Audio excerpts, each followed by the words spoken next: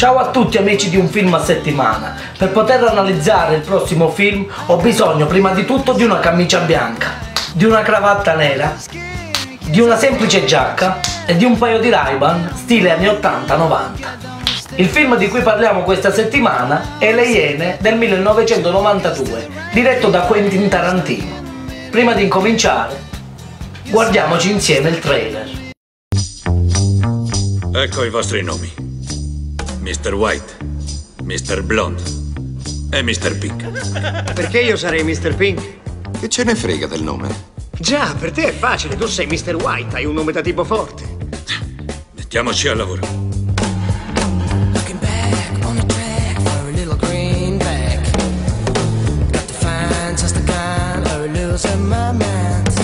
Che succede se il direttore non consegna i diamanti? Se ti serve un'informazione e non te la dà, gli tagli via il dito.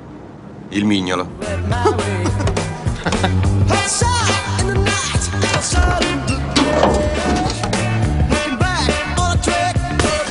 Mi hanno dato retta.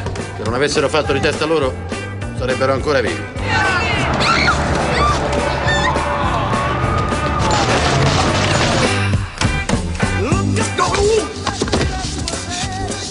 Ti comporti come un ladro di polli, io sono un professionista.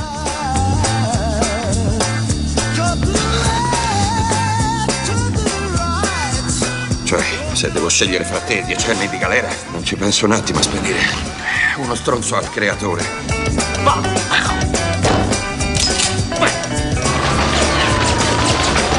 Sei in arresto, non c'è. Looking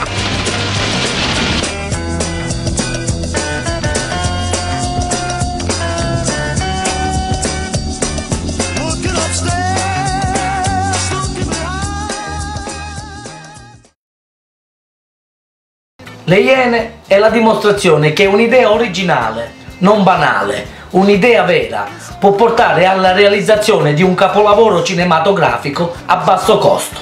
Nel 92 scoppia Tangentopoli, poi la strage di Capaci e viene inviato il primo sms della storia.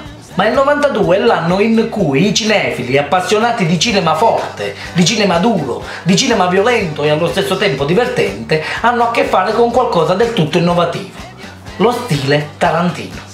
Con le Iene Tarantino inizia la sua carriera da regista, mettendo subito in risalto le caratteristiche principali del suo cinema. 105 minuti di violenza, di dialoghi volgari, la parola fanculo viene ripetuta 252 volte e poi ancora sparatorie, torture, tradimenti e sangue. Tutto questo viene unito ad un montaggio caratterizzato da una cronologia frammentata, tipica del cinema di Tarantino. Los Angeles, un malavitoso di nome Giocabot, insieme al figlio Eddie Bello, raggruppa sei professionisti per fare un colpo ai danni di un grossista di diamanti. La vicenda quindi narra la storia di sei rapinatori anonimi. Ad ognuno di loro verrà affidato un nomignolo.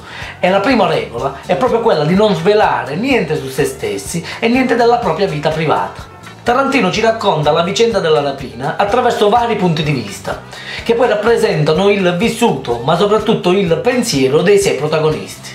Qualcuno però mente, non è un rapinatore professionista, ma è una spia, è un poliziotto infiltrato che farà di tutto per evitare la rapina, ma soprattutto per arrestare il boss malavitoso.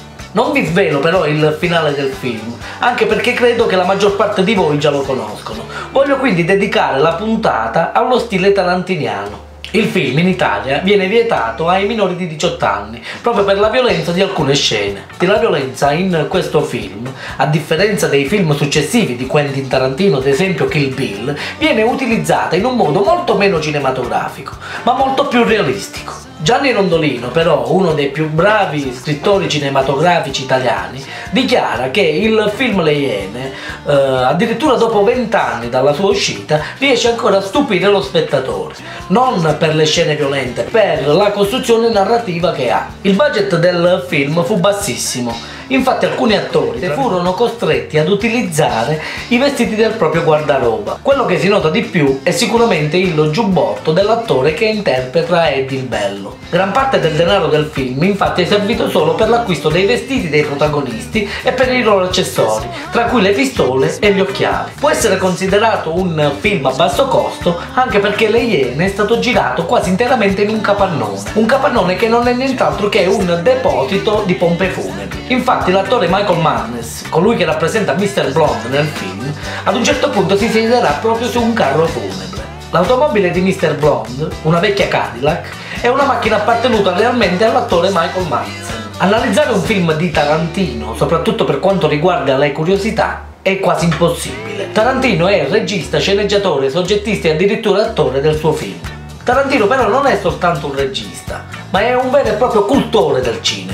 La sua cinefilia è maniacale, conosce qualsiasi tipo di film, analizza qualsiasi tipo di stile cinematografico ed è proprio per questo che Quentin verrà considerato come una sorta di ladro, una sorta di citazionista, una sorta quindi di regista capace di mettere in scena vari stili per creare il proprio stile, quello appunto tarantiniano. Infatti, come spesso accade nei film di Tarantino, anche nelle Iene ci sono tantissimi collegamenti ad altre pellicole. Sicuramente non riesco a citare tutti i vari collegamenti che ci sono tra le Iene e altri film, ma la più importante è quella che secondo me rappresenta anche la scena forse più violenta del film, è quella dove l'attore Michael Madsen taglia l'orecchio ad un poliziotto. La scena è stata ripresa da un film giapponese, The Shogun Assassin, ed è anche un vero e proprio riferimento al film di Sergio Corbucci del 1961, Django.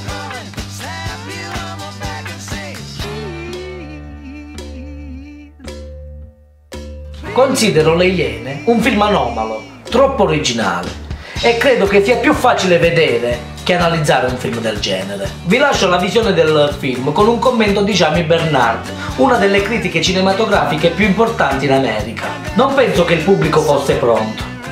Il pubblico non sapeva cosa fare con le Iene. Fu come la prima volta che venne proiettato il primo film muto. Le persone si spaventarono e uscirono dalla sala quando videro arrivare il treno vicino alla telecamera. Buona visione!